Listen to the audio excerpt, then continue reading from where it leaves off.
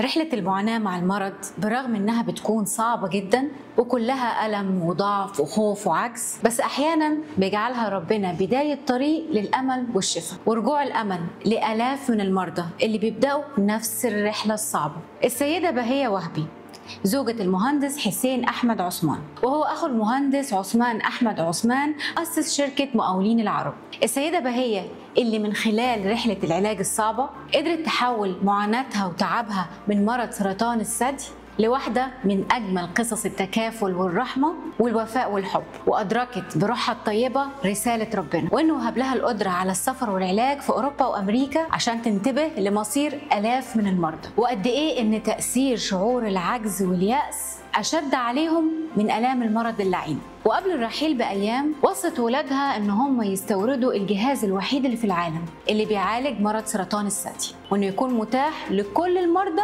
وبالمجان. وبعد سنين قليلة الولاد ما بينسوش الوصية. وسنة 2015 الحلم بيتحول حقيقة. وبيتحول بيت العيلة اللي كان بيتجمع فيه الأهل والأولاد والأحفاد لمستشفى كامل لعلاج مرضى سرطان الثدي وبالمجان.